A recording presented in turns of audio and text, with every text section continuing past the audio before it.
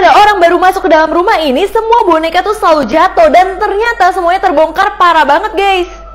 Jadi kisahnya ada polisi datengin rumah cewek cantik ini karena polisi mau mencari tahu tentang orang yang hilang di lingkungan dia. Tapi pas polisi datang tiba-tiba semua boneka yang ada di sini tuh jatuh. Dan bonekanya itu adalah miniatur orang-orang. Di situ polisi mulai kaget banget karena melihat salah satu dari bonekanya itu mukanya sama dengan orang yang lagi dia cari. Nah, akhirnya polisi ini ketemu sama yang punya rumah namanya Pak Syadu. Dan ternyata cewek ini adalah istrinya. Tapi sambil ngobrol, istrinya tuh mancing banget ngeliatin terus ke polisi dan polisi mulai suka. Tapi akhirnya polisi kembali fokus, dia mau cari pria ini yang bernama Arjun. Katanya Arjun itu terakhir ada di rumah ini. Apalagi dia lihat di rumah tersebut ada boneka yang mirip banget sama Arjun. Tapi kakek ini bilang sesuatu yang bikin polisi benar-benar kaget banget soal Arjun. Setiap ada orang baru di rumah ini, semua boneka yang ada di rumahnya tuh jatuh kayak minta tolong gitu dan ternyata ini parah banget. Jadi saat polisi nanya soal Arjun, Mr. Shadow bilang kalau misalkan Arjun itu udah berubah menjadi orang lain semenjak pegang batu ini. Nah, polisi nggak percaya dong dan merasa itu adalah lelucon doang. Bahkan dia mau menangkap Mr. Shadow karena dia udah curiga banget. Tapi Mr. Shadow bilang, kamu coba aja pakai batu ini. Karena dengan batu ini kamu bisa berubah menjadi orang lain yang kamu mau. Di sini polisi dites untuk menjadi Mr. Shadow. Dia coba ke istrinya dan ternyata istrinya melihat dia sebagai Mr. Shadow. Bahkan pas dia ngaca, dia juga wujudnya udah berubah guys. Di situ dia mulai percaya dong sama kakek itu. Tapi karena dia kesempatan suka sama istri Mr. Shadow, dia mau melakukan hubungan. Tapi abis itu dia malah terperangkap dan terjebak di sebuah ruangan yang sempit banget. Dan ternyata dia itu dijadiin boneka sama keluarga ini. Sama seperti korban-korban lainnya. Jadi siapa pun yang menginginkan istri dari Mr. Shadow nanti akan dibuat menjadi boneka guys. Maka itu boneka-boneka ini selalu minta tolong sama siapa pun orang baru yang datang ke rumah tersebut.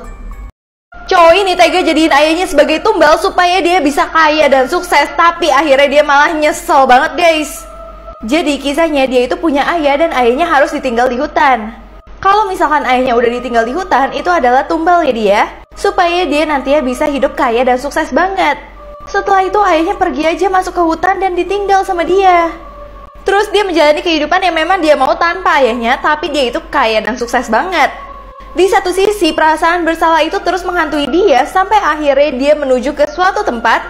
Ternyata tempat itu bisa mengabulkan apa pun yang kita mau, tapi ada resiko yang harus ditanggung. Nah, ini adalah tempatnya. Contohnya ini orang mau terkenal nih. Tapi ternyata resikonya dia harus kehilangan tangan kirinya. Terus akhirnya cowok yang tadi buang ayahnya datang ke perusahaan ini, dia mau minta ayahnya itu dikembalikan guys. Tapi tiba-tiba resepsionis yang ngomong satu hal yang bikin dia kaget banget. Akhirnya dia nyesel banget karena udah jadiin ayahnya sebagai tumbal supaya dia bisa kaya raya dan akhirnya parah banget. Akhirnya dia nanya ke tempat ini, aku mau balikin ayahku, tolong bantu aku. Tapi ternyata ini nggak bisa dikembaliin sama sekali. Semua tumbal yang udah diberikan udah nggak bisa lagi kembali ke dunia nyata. Di situ dia marah banget, dia bahkan mau kasih kekayaannya semua balik tapi nggak boleh. Tiba-tiba resepsionisnya bilang ayahnya sekarang sedang dimakan oleh banyak rusa di hutan. Di situ buat anaknya bener-bener kaget banget dan merasa bersalah. Bahkan dia udah ninggalin semua mobil dan kekayaannya. Di situ dia baru sadar kalau keluarga itu lebih penting daripada uang. Anak ini nekat naik pesawat yang misterius yang nggak bisa mendarat selama tujuh hari ternyata karena ini guys. Jadi cewek ini bernama Jane yang dia lagi mau nyamperin papanya. Nah tapi tiba-tiba pas satu jam udah mau mendarat, pesawatnya tiba-tiba terbang lagi nggak jadi mendarat sama sekali. Di situ buat Jane takut banget dan penumpang lain juga takut dong kenapa pesawatnya bisa terbang lagi. Banyak yang mengira kalau misalkan pesawat itu dibajak guys. Tapi yang bikin Jane takut banget nggak ada kepastian apa-apa dari pramugari atau bahkan pilot sekalipun. Orang-orang di dalam pesawat juga benar-benar panik guys. Sampai akhirnya pilot itu ngomong kalau misalkan rodanya itu nggak bisa kebuka jadi mereka nggak bisa mendarat sama sekali. Nah Jane itu pikir kalau misalkan mereka akan meninggal dong. Tapi pilotnya bilang kalau misalkan akan ada pesawat lain yang terbang dan memperbaiki rodanya. Tapi lama-kelamaan makanan habis, bahan bakar habis. Dan bahkan mereka harus berbagi makanan-makanan sisa yang mereka punya. Di situ udah semua semakin kacau dan orang-orang mulai nggak sadarkan diri sama sekali guys. Karena udah nggak mendarat selama tujuh hari, semua penumpang di pesawat ini tuh udah nggak sadarkan diri. Dan setelah dibantu beberapa pesawat lain, pesawat ini akhirnya bisa mendarat dan Jane langsung dilarikan ke rumah sakit. Untungnya Jane selamat dan gak kehabisan oksigen. Tapi setelah semuanya dicari tahu kenapa pesawat misterius itu rusak, ternyata ini adalah teknisinya. Jadi teknisinya itu lagi ribut sama istrinya dan gak ngecek roda dengan baik. Nah, makanya rodanya itu sampai rusak dan berbahaya banget untuk keselamatan penumpang lainnya. Karena kelalaian ya teknisinya ditangkap dan masuk ke dalam penjara dan dapat hukuman 20 tahun. Dan Jane jadi trauma banget naik pesawat. Anak ini benar-benar takut banget saat datang bulan pertama kali cuman ada papaya doang, tapi dia nggak nyangka mamanya melakukan ini guys. Jadi kisahnya anak ini tuh memang udah takut banget menunggu saat-saat dia mau datang bulan. Ternyata hari itu adalah harinya nih guys. Dia nggak tahu lagi mau cerita ke siapa, akhirnya dia kasih tahu ke papanya dia. Nah, tapi mamanya yang seorang dokter lagi ada keadaan darurat jadi nggak bisa pulang. Papanya langsung tanya dong ke mamanya apa yang harus aku lakukan. Ternyata papanya tuh dapat SMS dari mamanya yang bikin mereka kaget banget. Mamanya udah siapin satu box di lemari ini yang isinya adalah langkah-langkah kalau misalkan anaknya datang bulan.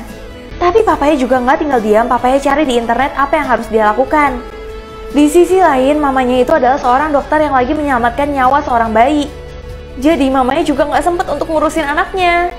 Tapi ternyata pas dia pulang, ayahnya udah bisa berusaha dengan baik dan anaknya juga udah berhasil melewati ketakutannya. Walau ibunya jauh, dia akan selalu ada untuk anaknya. Guys, ini adalah cara ikan menyelamatkan diri supaya mereka nggak dimakan sama hiu dan binatang buas lainnya. Jadi yang kalian lihat di video ini, ini adalah ikan sarden yang udah mau dimakan sama banyak pemangsa. Tapi cara menyelamatkan dirinya biasa mereka berenang secara berdempetan kayak gini dan mereka bisa membentuk bola ikan yang besar banget jadi pemangsa susah banget untuk makan mereka. Nah, kalau misalkan mereka membuat bola kayak gini dan berkerumun secara rumit, itu akan menyusahkan banget bagi pemangsa untuk memakan mereka daripada mereka sendiri-sendiri aja. Jadi mereka akan berenang dengan jarak dekat tapi jangan sampai nempel dan mereka harus tetap berenang untuk menghindar dari serangan-serangan hewan buas. Wanita yang serem ini harus mengambil mata dari suaminya supaya dia bisa kaya raya. Kalian harus lihat sih serem banget. Jadi kisahnya ada keluarga kecil yang terdiri dari tiga orang, ayahnya, mamanya, dan anaknya. Suatu hari anaknya bilang kalau misalkan dia mau ketemu sama papanya. Tapi mamanya tuh nggak pernah kasih sama sekali dan bilang papanya lagi istirahat. Nah tiba-tiba ada omnya datang ke rumahnya dia dan ngotok-ngotok pingin masuk. Mamanya bilang ke anak yang bernama Jihyo, Jihyo kamu diem aja. Om kamu itu jahat banget, jadi kita harus diam-diam pura-pura nggak ada di rumah. Awalnya Jihyo masih ngikutin aja semua permohonan dari mamanya, tapi Jihyo kesel banget tetap nggak boleh ketemu sama papanya sama sekali.